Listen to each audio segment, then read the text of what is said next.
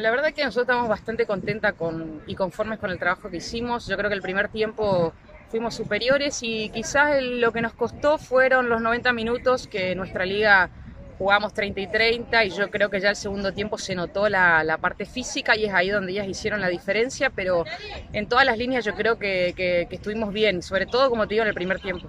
Nosotras venimos entrenando tres veces a la semana y jugamos la liga local los domingos. Ahora lo que fue la pretemporada sí lo hicimos un poquito más intenso, todos los días, doble turno.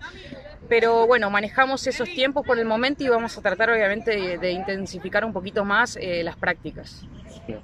Muy contentas, nos recibieron de una manera muy cordial, estamos muy cómodas. Eh, yo creo que las chicas es un sueño para muchas venir acá a la ciudad, eh, cómo nos trataron Así que un agradecimiento a toda la gente también de, AFA, la gente que hace posible esto, a, Paola, que, bueno, se mueve mucho por, por lo que es el Consejo Federal, por todas las provincias y ojalá que esto siga y cada vez mejore más.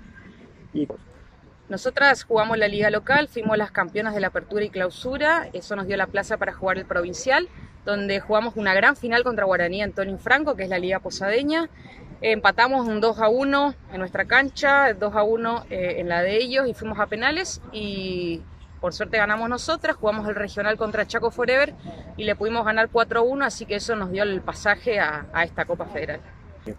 Y el año, bueno, ahora arranca la liga local el 27 de febrero, así que yo creo que nosotras no vamos a, parar.